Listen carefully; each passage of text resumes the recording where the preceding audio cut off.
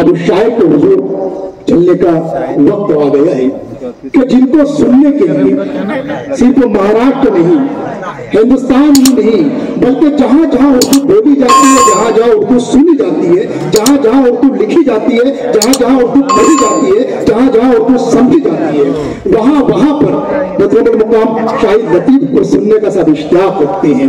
मैं आप लोगों के लिए अदालत में उनको पेश करने से पहले जुमला कहना चाहता हूँ कि जितने लोग भी यहाँ पर बैठे हैं दोस्तों उनकी तहरीरें रोज आप पढ़ते हैं इनकलाब के ज़रिए। मगर वो जो अशार सुनाएँगे एक एक लफ्ज को आप अपने सीनों में महफूज कर लीजिएगा क्योंकि आने वाले वक्त में उन अशार की आपको ज़रूरत पड़ेगी कि जेवर अता किए हैं हर एक ने जुदा जुदा।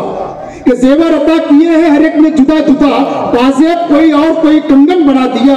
गालिब अमीर दाग जिगर कि गालिब अमीर दाग जिगर जौक और ज़फ़र इन सबने मिलकर उर्दू को दुल्हन बना दिया। दोस्तों भरपूर तालियों से इस्तेमाल कीजिए बहुत शुक्रिया। मोहतरम सामीन इसमें कोई शक नहीं कि आप लोगों ने मुशायरा बहुत अच्छा सुना। और मुझे अरसे दराज के बाद एक अच्छे मुशायरे में शिरकत करनी। और वो महज आप लोगों की वजह से। इसमें कोई शक नहीं कि ताली दोनों हाथों से बचती है। इसमें कोई शक नहीं कि ताली दोनों हाथों से बचती है। लेकिन शोरा कराम तो हर महफिल में अच्छे अशार सुनाते हैं। उन्हें ऐसे सामयीन बहुत कम मैसर जैसे आप।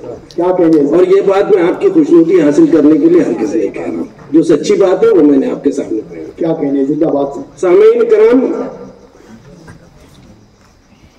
इतनी देर से मुशायरा चल रहा है इसमें सिर्फ़ गजलें सुनाई गई नज्म किसी ने नहीं सुनाई। मैं आपको एक नज्म सुनाना चाहता हूँ। और इसकी वजह है। ये इसलिए सुनाना चाहता हूँ यानी मुशायरा जब इस रंग में इस मरहले में दाखिल हो जाए कि जब बहुत बड़े शोरा कलाम सुना चुके हों और बाकी मानदा शोरा जो है वो मुशायरे को शबाब पर ले जा सकते हो ऐसे में नज्म सुनाने की ज़रूरत करना मुझ जैसे पागल ही को आ सकता है। लेकिन इसके पीछे एक मकसद है।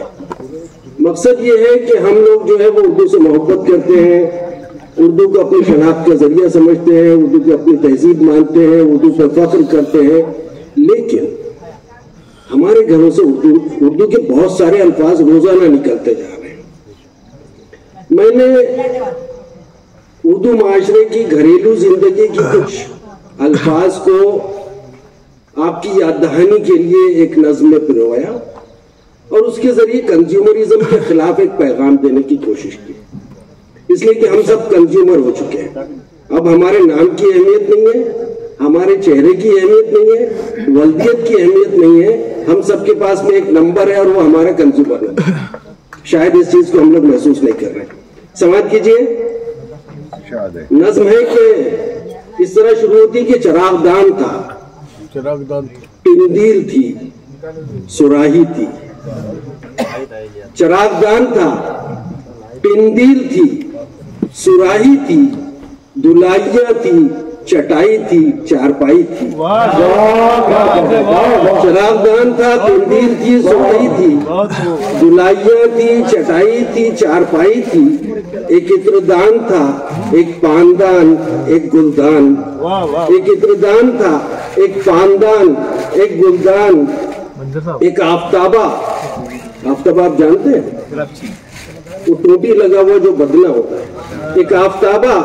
नमकदान एक दस्तरखान अंगेठी संसी उलटनी और एक दस्तपना रकाबियाँ थी बड़ी छोटी तश्तरी लुटिया दो चार प्यालियाँ सिलबट्टा घोटनी चमचे नमक शक्कर की अलग